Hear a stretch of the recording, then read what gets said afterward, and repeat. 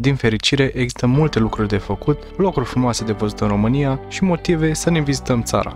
România se bucură de o mulțime de obiective turistice, unele dintre ele fiind aproape necunoscute publicului larg. Și dacă nu știi de unde să încep, am făcut o listă cu 30 de locuri despre care cel mai probabil nu ai auzit și unde trebuie să ajungi pentru a avea o vacanță superbă în România. Dar înainte să începem, te-aș ruga să apeși butonul de like și pe cel de subscribe dacă apreciezi munca noastră. Fără să mai stăm la alte discuții, primul loc din lista noastră este stufărișurile de la SIC. Rezervația de la SIC este a doua cea mai mare întindere de stuf din România, după delta Dunării. Zona cu stuf are o suprafață de 220 de hectare, iar suprafața totală a rezervației este de 505 hectare. Aici veți întâlni numeroase specii de păsări, amfibieni, reptile, dar și 42 de specii de plante. Așadar, acest loc inedit din inima Transilvaniei este ideal pentru a face o frumoasă drumeție de o zi spre locuri care așteaptă să fie descoperite, locuri de poveste, unde vă puteți bucura de peisajul magic, puteți face poze frumoase, puteți să vă bucurați de un picnic sau să admirați răsăritul soarelui alături de cei dragi. În continuare, că tot este cald afară, sunt sigur că prea puțin dintre voi ați auzit despre piscina pe coastă, raiul de pe acoperișul lumii, despre care n-ai crede că e în România. Ajuns aici te vei întreba, Bali? Nu. Dubai? Nu. E chiar Maramureș. Și e poate cel mai spectaculos și neașteptat loc unde puteți să vă răcoriți vara aceasta. La prima vedere, să sapă o piscină pe coasta unui deal pare o nebunie în toată regula, pentru că pe lângă priveliștea superbă pe care o oferă, gândiți-vă doar cât efort presupune. Situată în Maramureș, la 44 de km de cimitirul Vesel de la Săpânța, în satul Mara, piscina are un design care respectă tradițiile zonei, terasa piscinei fiind construită exclusiv din lemn. Priveliștea de acolo este una de vis, de unde se vede aproape tot satul, o cascadă superbă, dar și pădurea în mijlocul căreia e săpată piscina. Lângă piscină este construită și o terasă cu stuf, unde te poți ascunde de temperatura mare a soarelui și să savurezi ceva răcoritor. Sanctuarul urșilor de la Zărnești, un alt loc în care vă puteți bucura de măreția naturii în această țară, este cea mai mare rezervație de urși brun din lume și se află la 38 de km de orașul Brașov. Sanctuarul urșilor de la Zărnești Liberty a făcut subiectul unui documentar realizat pe postul de televiziune irlandez Animal Planet. În seria de șapte episoade, realizatorii au prezentat cele mai impresionante povești ale ursuleților de la Zărnești. Chiar și jurnaliștii de la National Geographic au vizitat rezervația Liberty pentru a afla cum reușesc angajații sanctuarului să salveze urșii din condiții îngrozitoare. Pentru copii poate fi o experiență unică, în care pot privi urși de la câțiva metri distanță și pot afla multe despre importanța protejării animalelor. Știți și voi că Dumnezeu poate fi oriunde și poate fi chiar și în pustietate. Și îl veți întâlni acolo dacă ajungeți la biserica din pustietate. Acest loc se găsește între orașul Carei și comuna Petrești, satul mare. Despre acest loc nu se știu foarte multe detalii, însă există o legendă potrivit căreia biserica se deschide doar o dată pe an, de Sfântă Mărie, la miezul nopții. Ușa bisericii s-ar fi deschis singură, fără chei sau intervenția cuiva și tot singur s-ar fi închis. Așa că e foarte clar că Dumnezeu poate fi oriunde, chiar și în această biserică din pustiu. Credeți că noi nu avem stațiuni exotice? Așa credeam și noi până să aflăm despre stațiunea exotică de la Berzasca. Prima stațiune lacustră din România se află în județul Caraș-Severin și poartă numele de satul lacustru Berzasca. Un complex cu 15 căsuțe suspendate în stil rustic, construite la aproximativ 20-30 de metri de mal, te duce cu gândul la o vacanță exotică. Unicitatea locului este dată de amplasare, priveliștea superbă a Dunării și de zgomotul păsărilor care zboară deasupra. În plus, aerul curat, soarele și combinația dintre munții Almajului de o parte și apele Dunării de cealaltă te poartă într-o atmosferă de calm și relaxare. Probabil că mulți care locuiesc în zona ei au auzit de ea, dar majoritatea chiar nu cred că auziseră despre cetatea medievală sa schiz. Și poți pune pauză chiar acum videoclipului și comentează dacă ai auzit despre ea sau cine știe, poate chiar ai fost acolo foarte aproape de Sighișoara și de Viscri, localitatea Saschiz, care a preluat denumirea de la cetatea țărănească, ridicată aici în jurul anilor 1308-1310, începe să devină localitate turistică după ce a reușit să atragă atenția câtorva amatori de noutate. În acest loc pitoresc te bucuri să descoperi turnul cu ceas, reabilitat recent, copia celui de la Sighișoara. În incinta fortificației se află și acum o fântână care a măsurat 65 de metri adâncime, despre care legendele spun că fundul fântânii comunică cu un tunel care duce până în mijlocul comunii. Cu siguranță numele de Soveja vă poate suna cunoscut, dar știați că aceasta este stațiunea cu cel mai ozonat aer din Europa? Încă înainte de a ajunge la Soveja, peisajul de bazm, cu braz falnici și măsteci în argintii, îl vrăjește pe turist. Soveja este o comună situată în inima Carpaților de Curbură, în munții Vrancei și se remarcă printr-un grad ridicat de împădurire. Stațiunea din Sofeja era foarte populară în anii 80, mai ales printre sutele de sportivi care își făceau aici cantonamentele, profitând de aerul curat. Situată la 600 de metri altitudine, localitatea este recunoscută ca având cel mai ozonat aer din Europa, prin pădurile de braj și pin ce o înconjoară. În episodul nostru de astăzi apare încă un loc menit să te surprindă, și anume Utopia Gardens, sau cum mai este cunoscut, Rozariul de la Mândroluc, o rapsodie de parfumuri și culori. Dacă iubești trandafirii, dar nu ai o grădină, poți face un drum în localitatea Mândroluc, din județul Arad, unde este amenajat cel mai mare rozariu din sud-estul Europei. Rozariul include 2000 de soiuri de trandafiri, mulți dintre ei premiați cu aur la diferite concursuri internaționale. La aproape fiecare două săptămâni, peisajele se transformă și captă nuanțe diferite, înfățișând o rapsodie de flori. O localitate de vis, Rozariul Utopia Gardens este o destinație frumoasă pentru turiștii din România și nu numai. Chiar și în capitala României, la București, regăsim Templul Coral. Aproape de Piața Unirii, pe strada Sfânta Vineri, Templul Coral contrastează prin măreție cu peisajul cenușiu din jur. Această construcție este cel mai mare lăcaș de cult mozaic din România, fiind ridicată la jumătatea anilor 1800, ca și replica sinagogii din Viena, distrusă de naziști în al doilea război mondial.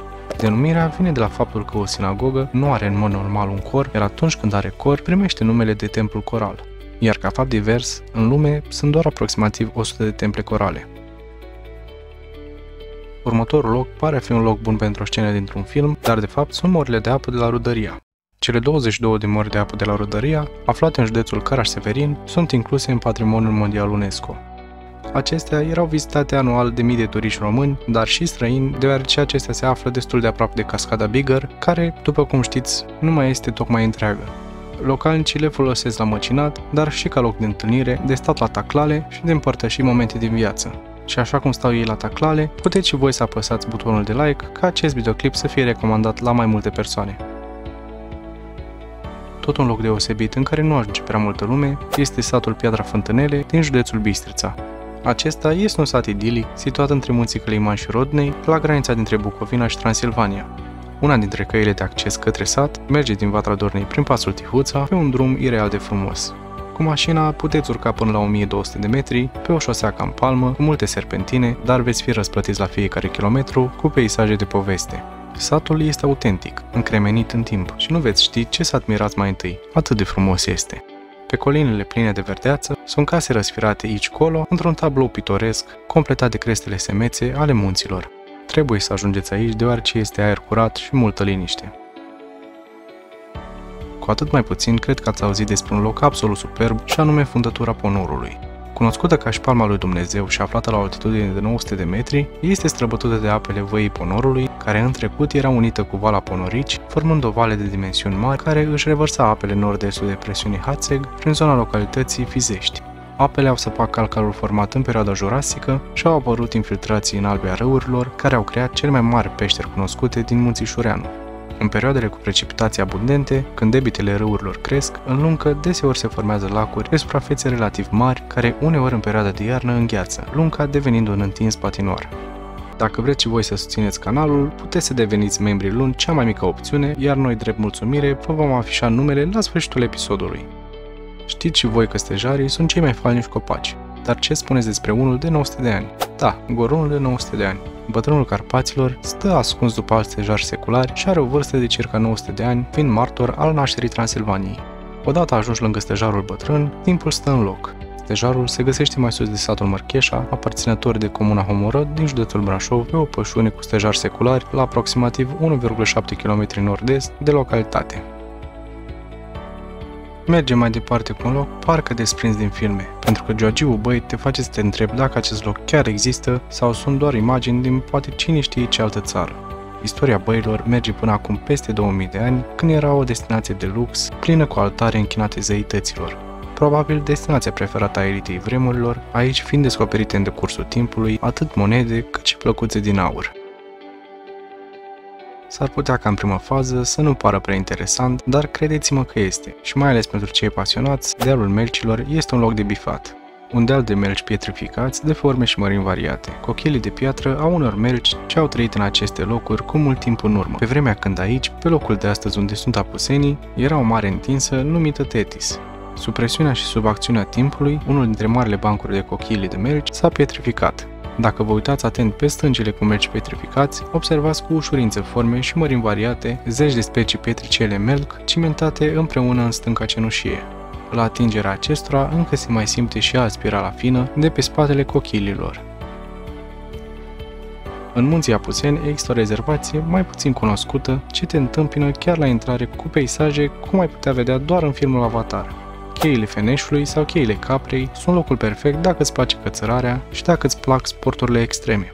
Rezervația cheile Caprei sau cheile Feneșului, după cum mai sunt cunoscute, se află în partea de sud a munților Trascău, pe malul părâului Feneș, iar numele de cheile Caprei vine de la cele două coloane stâncoase denumite Pietrele Caprei. Poate nu știați, dar pe teritoriul României nu avem doar izvoare cu ape termale, ci și cascade. Iar una mai puțin cunoscută, dar extrem de interesantă, este cascada cu apă termală de la Toplița. Cea mai spectaculoasă imagine a ei este în timpul iernii, când îngheață. Dar acest fenomen nu se întâmplă mereu. Dar chiar și așa este foarte interesant să o admiri în frigul iernii și să simți căldura pe care aceasta o degajă. Așa că dacă cumva ajungeți la Toplița de întâmplare, să știți că aveți cu ce vă delecta privirea chiar și în acest loc. Cheile Vârghișului este un alt loc care este probabil cel mai frumos din ținutul secuiesc. Cheile acestea au cam 4 km și o mulțime de peșteri pe toată lungimea lor.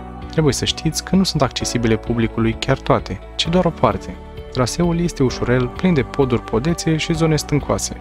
Traseul principal care traversează cheile Vârghișului de la un capăt la altul este marcat cu o cruce albastră. Însă, în afară de acesta, mai sunt încă două trasee pe care le poți parcurge, unul marcat cu dungă galbenă și încă unul marcat cu punct roșu, care merge numai pe deasupra stâncilor.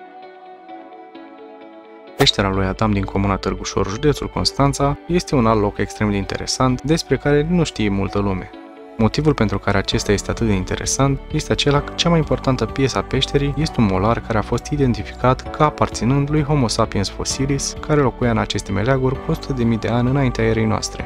Importanța științifică a acestei peșteri a început să fie studiată în anul 1995, ca urmare a descoperirii a 5 piese de piatră cioplită aparținând altarului închinat zeului Mitras, identificat cu zeul luminii și a unor roci care prezentau forme de eroziune ce au revelat resturi de fosile.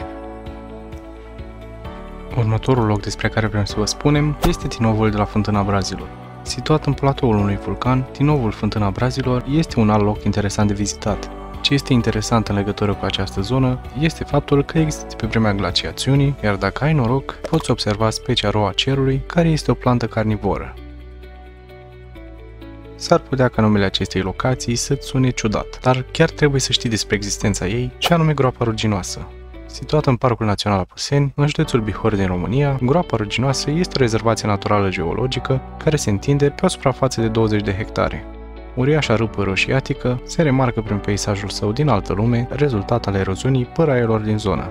Acesta este un loc în care nu vă puteți aventura prea mult, dar în care cu siguranță puteți face niște fotografii super interesante. Tunelul Dragostei este un alt obiectiv foarte cunoscut în județul Caraș-Severin, dar pe care mulți din afara județului cu siguranță nu-l cunosc. În sine este o simplă porțiune de cale ferată abandonată, dar ceea ce o face unică este faptul că este acoperită cu crengi de vegetație în formă de arcadă. Acestea au dat forma unui tunel de verdeață, ce are la bază o cale ferată care face legătura între localitățile Obreja și Glimboaca. Primăvara sau toamna, acesta este mult mai interesant datorită culorilor lui a fost inclus pe lista comorilor ascunse ale țării și ale Europei și a devenit repede un loc vânat pentru poze, mai ales de tineri însurăței, pentru o sesiune de fotografiat. Un loc în care trebuie să faceți un efort să ajungeți măcar o dată în viață este statuia Inima lui Isus. Are 22 de metri și este cea mai înaltă figură a lui Isus din Europa de Est. Drumul până la statuie este ceva mai lung și anevoios, însă peisajul și emoțiile merită tot efortul. Statuia are o scară interioară și poți urca și mai apoi observa sau fotografia panorame superbe. Continuăm cu grădina de vară de la Amara. Locul este cel mai mare parc dendrologic din sud-estul țării și are o suprafață de peste 64 de hectare, fiind amenajat în incinta stațiunii balneare Amara. având nenumerate specii de plante, cele mai multe specifice zonelor de câmpie, precum nuci, arburi sălbatici sau salcie, totul se transformă într-o pictură în fața căreia simți să te înclini. În cazul în care sunteți cumva prin Iași și vreți să vedeți ceva ce nici măcar toți ieșenii nu cunosc, atunci trebuie să ajungeți pe dealul Repedea. În sine, dealul este cunoscut pentru priveliștea lui asupra orașului în timpul nopții, dar aici, pe timpul zilei, puteți vedea un loc fosilifer imens. Dealul Repedea are o altitudine de 353 de metri și este inclus în arealul care a fost declarat rezervație geologică și paleontologică, denumit locul fosilifer Dealul Repedea.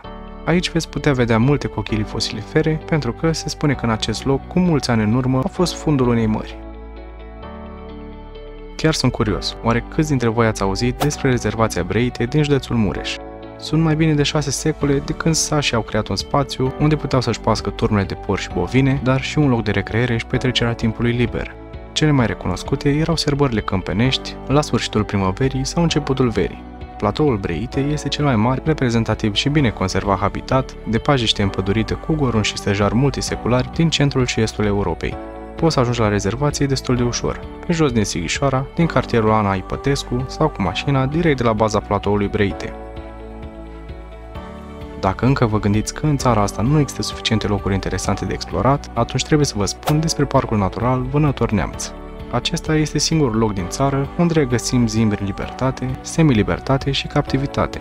În captivitate se află în cadrul grădinii zoologice din Comuna Vânători 6 zimbri în semi-libertate 17 și 24 de zimbri în libertate întregul areal Parcul Național Vânător Neamț. Anual se reușește suplimentarea numărului aflat în libertate cu câte 3 exemplare, Prima eliberare a zimbilor din țara noastră a fost realizată în 2012 în comuna Crăcăoan Neamț, o zonă izolată cu păduri de foioase și altitudinea cuprinsă între 800 și 1000 de metri, perfecte din punct de vedere al existenței zimbrului în condiții de libertate. Alt loc captivant și totodată prea puțin cunoscut este Sucidava și Fântâna Secretă. Sucidava a fost vechea capitală a tribului dacic al sucilor și este situată în vatra orașului Corabia, Numele acesteia vine de la tribul getodacic Suci și Dava, care înseamnă cetate. Pe scurt, cetatea Sucilor. Fântâna a fost construită în timpul lui Justinian și descoperită în 1958. Între timp, aceasta a fost restaurată și poate fi vizitată. Continuăm cu grădina Romei. Zona în care se află parcul acum are o istorie mai lungă, mereu în continuă transformare. Inițial, pe la mijlocul secolului al XIX-lea, acest loc se numea Grădina de Tir, era locul de relaxare și distracție al membrilor societății de tir, un sport foarte apreciat în satul mare la acea vreme. Însă pe aleile parcului se plimbau mai mult nobilii și burghezii. Pe timpuri mai călduroase precum cele de acum, parcul găzduiește și diverse spectacole sau reprezentații în aer liber pentru sătmăreni. Și ajungem din păcate sau din fericire și la ultimul loc din episodul nostru de astăzi, și anume castrul roman Porolisium. Castrul de la Porolisium a fost ridicat în timpul celui de-al doilea război daco-roman de către împăratul Traian. El a construit această fortăreață cu scopul de a bloca trecerea dinspre munții Carpați spre Dacia Porolisenis. De 10 ani, aici are loc festivalul anual Porolisium Fest, organizat de Muzeul Județean de Istorie și de Artă Zalău. Însă, pe timpul pandemiei, evenimentul a fost mutat în online. Pe lângă faptul că acest loc este încărcat de istorie, este situat într-un cadru natural foarte frumos, de unde se pot vedea munții Meseș, dar pentru că episodul nostru a ajuns la final, dacă ți-a plăcut, te-aș ruga să-i dai un mare like și un subscribe la canal. Chiar acum puteți vedea membrii canalului care ne susțin, iar până data viitoare, stay safe!